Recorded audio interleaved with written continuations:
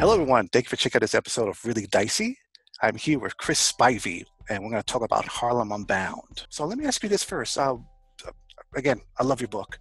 Where did the foundation of the ideas for this book come from? So that's um, a little bit of a more complicated story that I'll try to, to squeeze down to you into for a, a couple minute answer.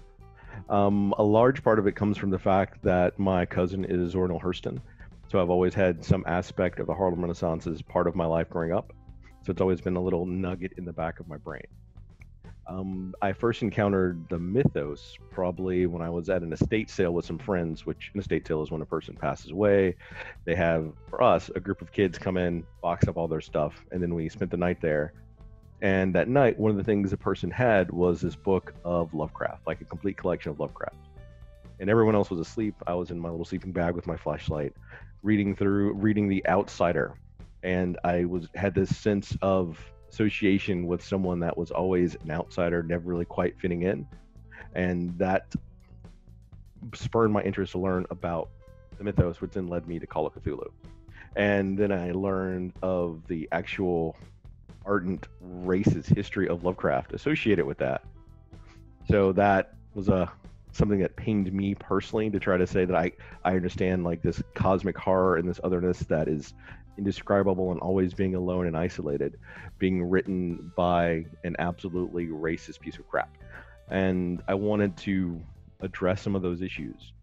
And having played the Dead Man Stomp scenario, I think was in Call of Cthulhu 5.6 edition when it came out.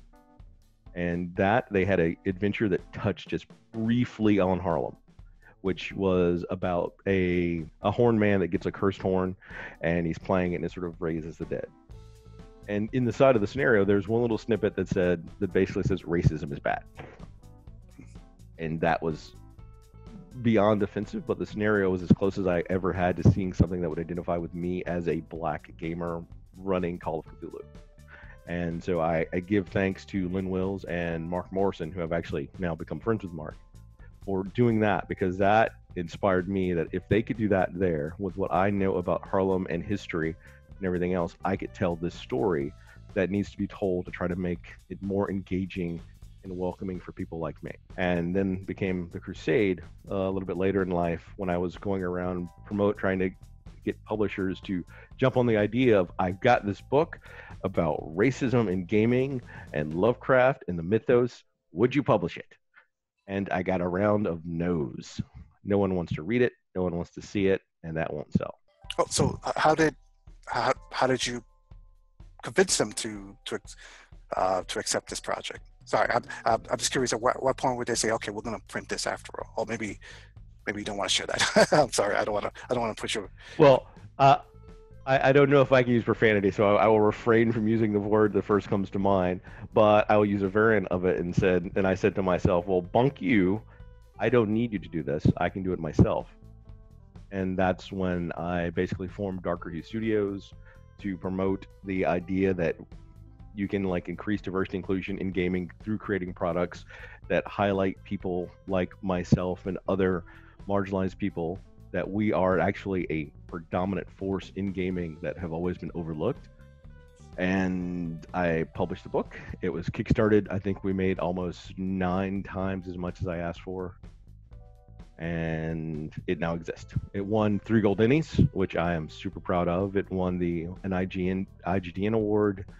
Uh, we were nominated for a Diana Jones award, and after all those accolades because we're also accepted into museums. It's being taught in in different universities right now. Chaosium came to me at Gen Con a year or two ago and said, "Hey, we would like to do a second edition of your book." Hmm. Okay. Now, what what's the difference between the first edition and second edition exactly? Uh, about a year of my life. so uh, I guess more detail than that.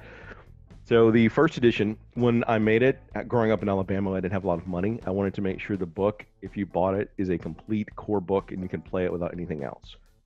So I approached Pelgrane Press and I talked to Simon and Cat about if I could use their logo. While the gumshoe system itself is a complete OGL, I wanted to have Pelgrane's backing and support because people would see the Pelgrane sticker and then they'd be more than likely to engage with it and consider it an actual product for their table. After which started negotiations with Chaosium about becoming a licensee for them so I could use the 7th edition rule set, which also garners more eyes and more people to come and support the project. And after all of sorry, I'm still talking about the first edition. So with all of those elements inside the first edition book, which was a dual status system, so it had Gumshoe and it had seventh edition. And for the second edition, we had to completely remove all the Gumshoe elements because there's a strictly Chaosium published darker hue book. And since I had all that new free space, and I'd also figured out some things I wanted to do differently, because the book itself, while it's focused on the Harlem Renaissance, is also a tribute to Harlem. Without Harlem, the U.S. would be vastly different. Um, the Battle of Harlem Heights was where Washington won his first battle in the American Revolution. That rebolsters his confidence in the spirit of the troops. Without that, who knows what language we'd be speaking right now? And all that's centered on Harlem. And with that in mind, for the new edition, I removed one scenario and I supplemented in four new ones. So you've lost Gumshoe, but you've got four brand new scenarios that sort of art by year. So it forms a, a loosely based mini campaign if someone wanted to play it. One of which that I am super proud of is I worked with uh, Steffi Van Dyne to write a 1680s Harlem scenario in the book. For anyone that wants to game master this or be a keeper for this, I should say. Um, any advice about books or movies they can watch to get a experience of what it was like in the 1920s Harlem? So I don't know about the experience, but to give them a, a better reference point, I have all of that information actually listed in the book. And it has some of them are movies, some of them are documentaries, some of them are actually books, some of them is just art from the time, music, and all that's listed there. And recently, since someone asked on Twitter, I even created a my playlist for my next Harlem Unbound game. Oh, excellent. Okay. That I posted up for everyone. Okay.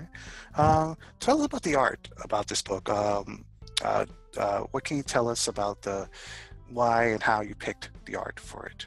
Well, for those who don't know, the Harlem Renaissance itself was a, a time of political and social change that was motivated and moved primarily through debate, academics, writing, literature, journalism, and art and music. And without the slew of artists in the time, I went through all the different different things to see which ones I liked the best. And I sort of put together a palette of different sort of art.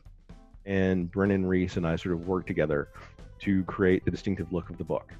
And Brennan is incredibly talented, which is why I wanted him to make the cover. And it has a lot of different shout outs to styles and some people in it. I'm not going to tell anyone. If you can figure it out, feel free to send me a tweet and we can talk about it. are, are there any plans to do a continuation of the book in any way? I, I'm torn because I have other projects I want to work on, but I've gotten a lot of people that want me to do something else, and I have four very solid ideas. So it depends on how the second edition sales go and how much I like working with Chaosium about whether or not, while our contract is there, I want to do a scenario book that I have in mind. That is a, a detailed, thick, probably about six different scenarios that are interlinked that tell a this another story of Harlem. Okay, and uh, speaking of projects, uh, I know you have um, uh, the Haunted West coming out in the end of December. Um, is there anything else you're working on that you would want to share with uh, fans of your work? Um, so one of the big projects since it is out originally, Chaosium and I were going to do a science fiction book together, but they have their own sort of printing things that they were trying to accomplish, and the timeline didn't match up. So the Afro Judeo science fiction project, I was probably going to be my next thing that I do. So people should keep an eye out. I've been working on it off and on again for about a year, year and a half. So it's fairly well scoped out. Okay, excellent. And, and it gives me a chance to do less historical research that takes about a year to year and a half of my life every book. So, for anyone who wants to purchase Harlem Unbound, or where can they go to get it? So, there's two editions. You can buy the first edition from my website, which is still an amazing book, and that cover is only available in the first edition. Or you could buy the second edition from Chaosium's website that gives you the nifty new scenarios and a lot of the actual text itself, I use some of my new skills I developed over the past three three years to edit and adjust and add additional depth and meaning to some of the scenarios in the writing. Okay, excellent. Well, again, thank you so much for your time, and thank you viewers for checking us out. And we'll see you next time. Thanks, everybody.